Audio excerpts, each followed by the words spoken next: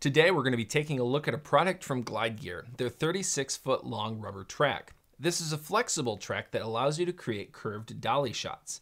It's 36 feet long, but because a dolly needs two tracks to ride on, you'll need to double this over, effectively giving you 15 feet worth of travel. If you want the full 36 feet of travel, then you'll need to buy two tracks.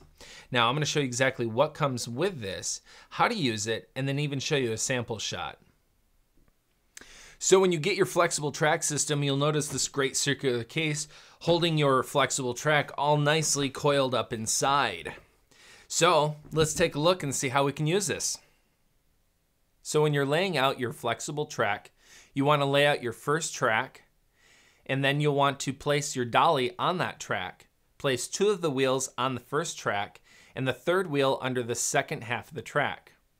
Now, as you move the dolly along, you want to feed the flexible track under the third wheel of the dolly so that it self-aligns as you go.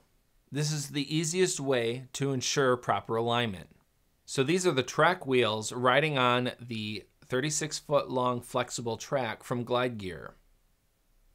Well, that concludes our look at Glide Gear's 36 foot long rubber track. And as always, thanks for watching.